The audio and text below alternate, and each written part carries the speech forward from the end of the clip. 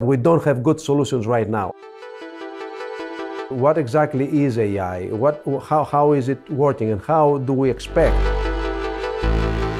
Humans are not good at analyzing data. As we are approaching the end of the 20th century, what happened is computation became cheaper. So we have more computation power, we have more data points.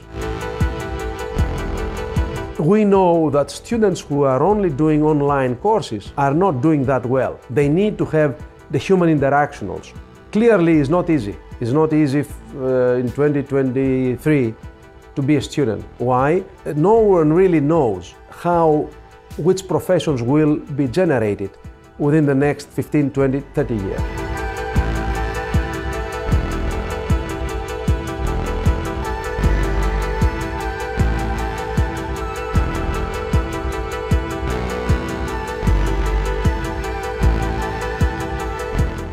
Well, first of all, thank you for being in my office and uh, doing this. My background is uh, basically mixed. I have a background both in computer science, initially as a computer engineer by training, but then I switched into uh, finance and uh, uh, business.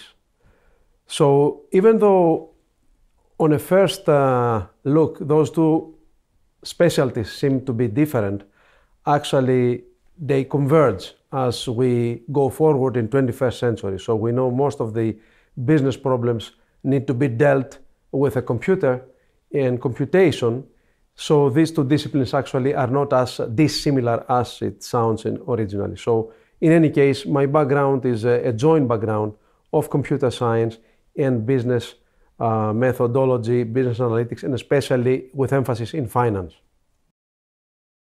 I got my first uh, engineering diploma from uh, university in Greece, engineering school of uh, computer engineering in, uh, in Greece. Then I went to United States, University of California, Berkeley, with a fellowship to study computer science.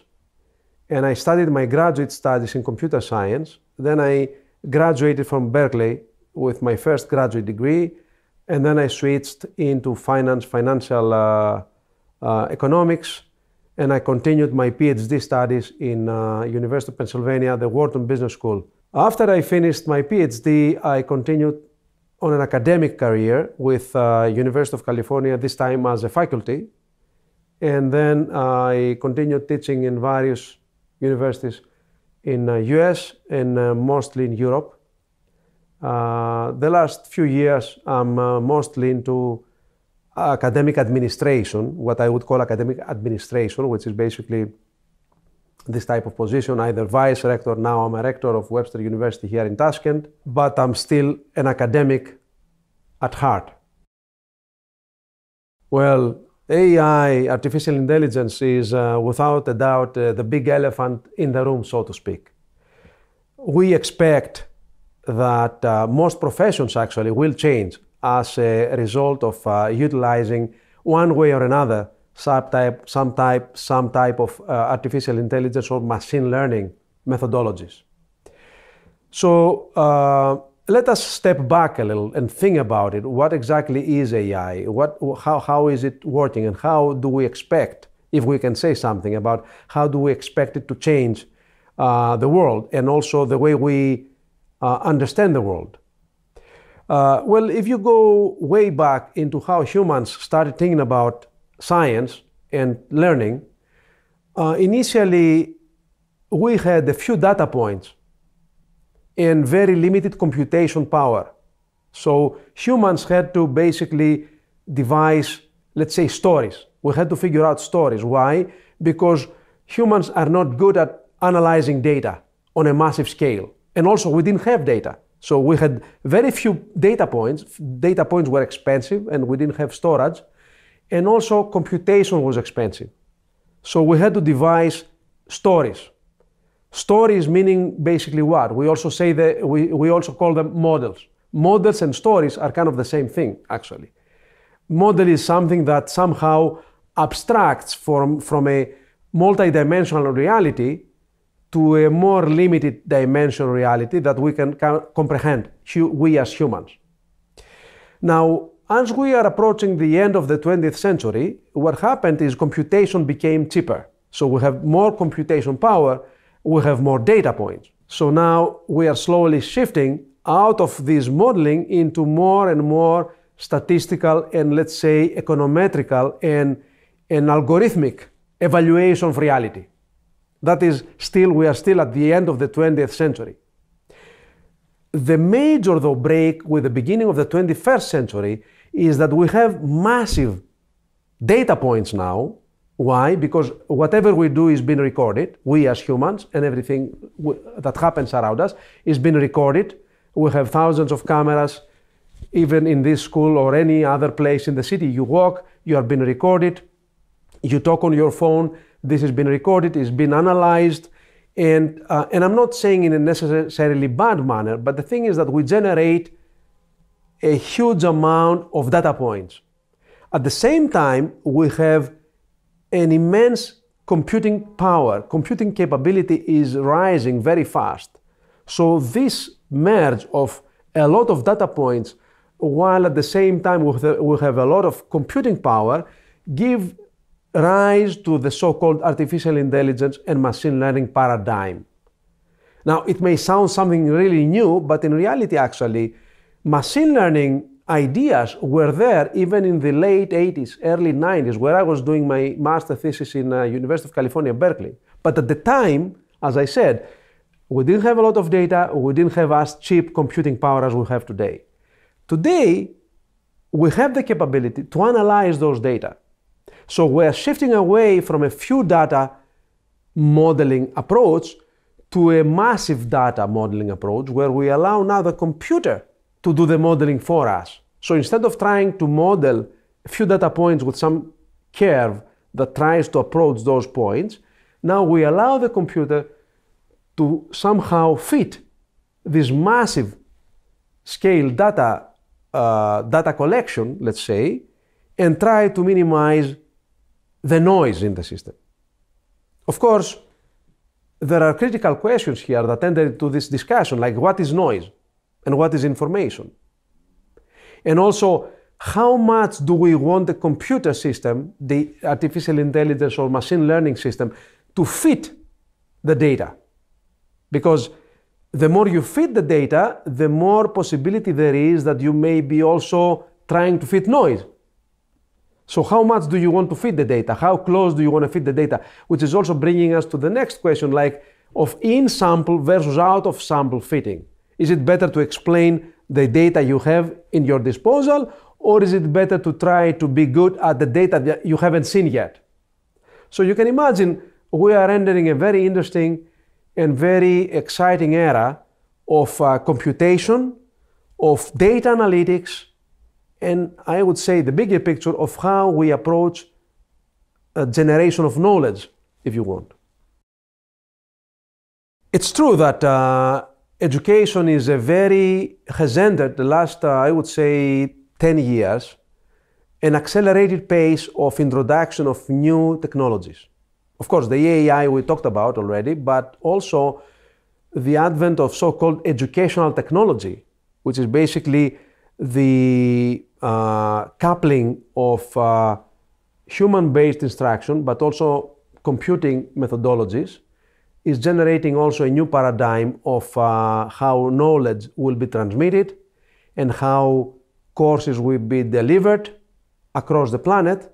Now you can, for example, have a very good professor sitting somewhere in California teaching students here in Uzbekistan or vice versa. So suddenly the old paradigm of a professor going into classroom is uh, changing. Now, we need to be careful here because there are good ways of changing and bad ways of changing. What we need to do as, uh, as uh, uh education professionals, we need to do the best merge of new methodologies, new technologies, but at the same time, we need to do that with respect to uh, a proper education for students. For example, to give you an idea, we know that students who are only doing online courses are not doing that well. They need to have the human interaction also. So we need to somehow merge the old world with a new world. Well, how, how would I advise uh, young students and uh, young people in general to approach this new, uh, fascinating, exciting, but also uh, volatile and uh, sometimes anxious world? Clearly, it's not easy. It's not easy in 2023 to be a student. Why? Because, as we said, new technologies are coming and there is no way to stopping them, and they will change to some degree all professions. That is something we cannot escape. So a young student now has to think about uh, what does that mean with respect to his or her uh, preferred profession. How is that going to combine with the new technologies? It's not easy to tell. No one really knows how which professions will be generated within the next 15, 20, 30 years. It's almost impossible to, to forecast how, what path technology will take because we know technology, by its very nature, is disruptive. So you cannot really, you, you can never predict.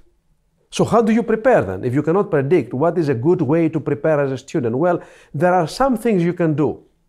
First of all, clearly, you need to be technologically savvy. There's no doubt about it. You need to be able to follow what is happening in new technological developments. You need to think about how is technology shaping and changing my profession. That's number one. Number two is you need to think about the big picture. I would say you need to think of yourself more like, not like a mechanic who is making an, an engine, but more like a pilot who's flying a plane. A pilot who's flying a plane doesn't really understand how the plane exactly operates in every little detail, but he knows how to read the instruments that he has in front of him, and he knows by reading instruments to generate a smooth flight, right? That's what you expect from a pilot. So student also has to think this way. The student has to think, okay, I'm not going to be the one probably doing all details of, for example, some data analysis. But I need to know the platforms that are out there. I need to know how to utilize those platforms. I need to know how to interpret and explain the findings. So student needs to take a more abstract, more high, if you want, the 30,000 feet view rather than get into a lot of details sometimes. At the same time, another interesting approach as a student, you need to think about so called, wrongly I believe, soft skills. I call them power skills. What do we mean by that? Skills that are not necessarily entirely job specific, but skills that you may take from one job to the other. For example, your ability to organize a meeting, your ability to process corporate information that is not very specific to a particular department of the corporation, your ability to read financial statements. Those are skills that are uh, easy to translate from one industry to another. Now, of course, at the same time, you also need to be more specific sometimes. You need to learn more specific, job specific skills, what, what we call hard skills. So you need to combine, you need to play in both uh, games if you want. That's my advice to a student.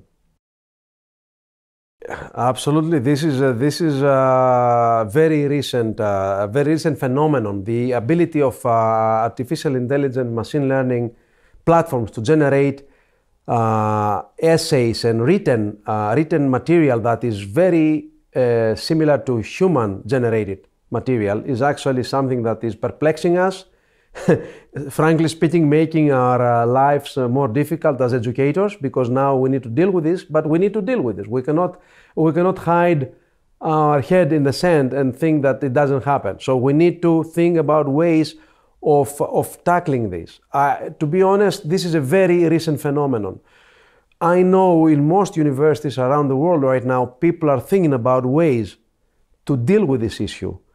Uh, how do we make sure that what is being uh, submitted by a student is generated by them? Frankly, I think some methods, some systems will come to actually do it mechanically. This type of validation will probably also happen mechanically. That's my hope and at the same time, if you want my, my vision for the future, I think that some mechanical future, some AI also future, uh, systems will effectively battle and find if something that has been submitted is uh, generated by humans or not.